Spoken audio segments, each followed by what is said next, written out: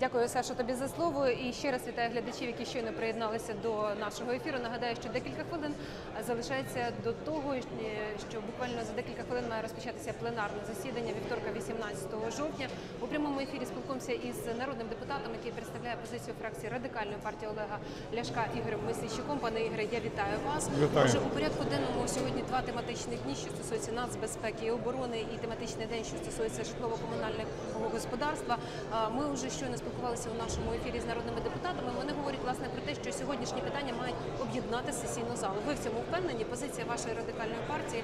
Як ви сьогодні будете Абсолютно голосувати? питання, які стосуються національної безпеки і оборони, я переконаний, об'єднають більшість залу, весь зал не об'єднають.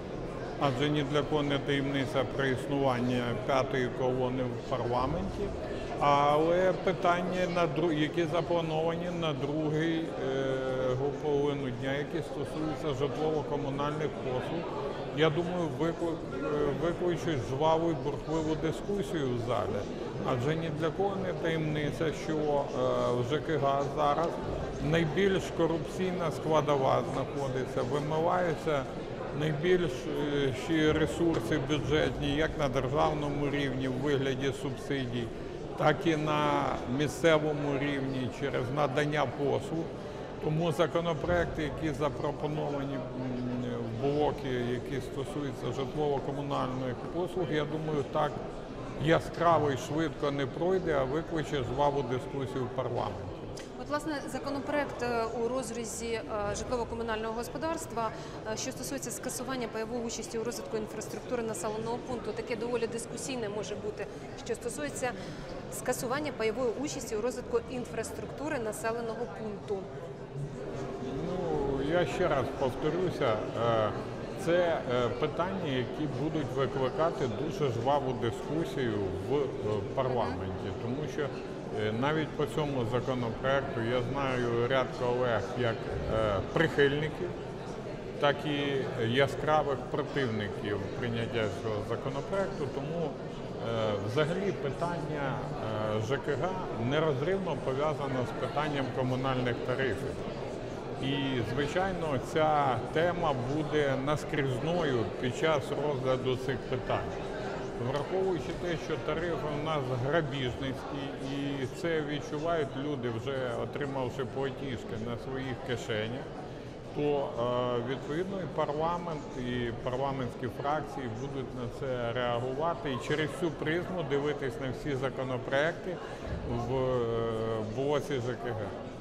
А, Тобто, е, по суті, е, комунальні тарифи сьогодні е, можуть вирішувати долю сьогоднішніх законопроєктів, які заплановані під час розгляду на вечірньому пленарному засіданні. Ваша е, політична Абсолютно точно. Ваша політична сила, пане Ігорю, е, наполягає на погоджувальній раді, принаймні вчора, щоб знижити ціну на газ. Це мають бути відповідні е, законодавчі акти. У- Звичайно. розрізі чого? Які законодавчі Звичайно, ініціативи це, ма- мають це, з'явитися? ма- це мають бути а рішення уряду про повернення до е, е, пільгової ціни на газ. Е, і ми думаємо не 1200 кубів, бо 1200 кубів це собачу будку тільки обігріти можна, а хоча б 1800. Е, Хоча б на зимовий період це має бути рішення вольове уряду. Уряд має нарешті дійти до того, що люди не спроможні платити ці грабіжницькі тарифи і піти на зустріч людям. А відмовки е, щодо того, що е, субсидії покривають людям ці витрати, але звідки беруться субсидії? З державного бюджету. А як казав